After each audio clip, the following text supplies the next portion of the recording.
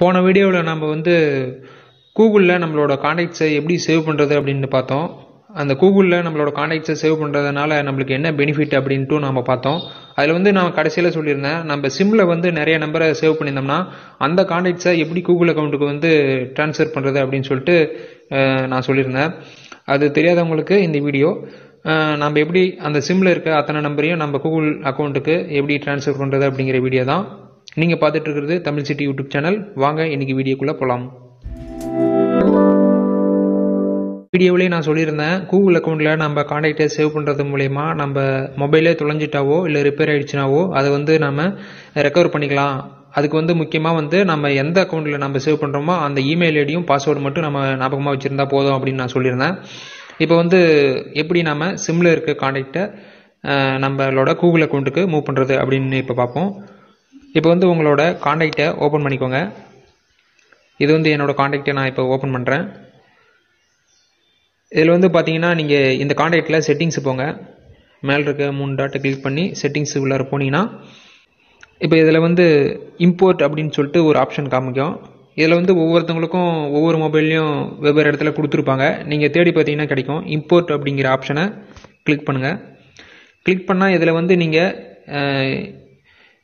இது எந்த அக்கௌண்ட்டில் இருக்கிற இப்போ வந்து என்னோட சிம் ஒன்னில் வந்து என்னோட ஃபோன் நம்பர்ஸ் எல்லாம் இருக்குது அதை வந்து நம்ம இப்போ கூகுளுக்கு மாற்றணும் அப்படின்னா ஃபஸ்ட்டு நீங்கள் எதில் இருக்கிற நம்பரை எதுக்கு மாற்றணும் அப்படின்ட்டு ஃபஸ்ட்டு செலக்ட் பண்ணுங்கள் இப்போ என்னோடய சிம்மில் இருக்கிற நம்பரை வந்து கூகுளுக்கு மாற்றணும் அப்போ வந்து நான் ஃபஸ்ட்டு சிம்மை செலக்ட் பண்ணிக்கிறேன். என்னோடய ஃபஸ்ட்டு சிம்மை செலக்ட் பண்ணிவிட்டு நெக்ஸ்ட்டு கீழே இருக்க நெக்ஸ்ட்டு கொடுக்குறேன்.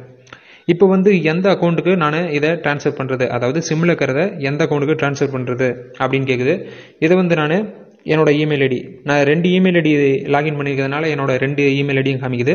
உங்களுக்கு எத்தனை எத்தனை இமெயில் ஐடி நீங்கள் லாகின் பண்ணியிருக்கீங்களோ அத்தனை இமெயில் ஐடியும் காமிக்கும் உங்களுக்கு. இப்போ வந்து நான் எந்த இமெயில் ஐடி அப்படின்ட்டு நான் செலக்ட் பண்ணிக்கிறேன்.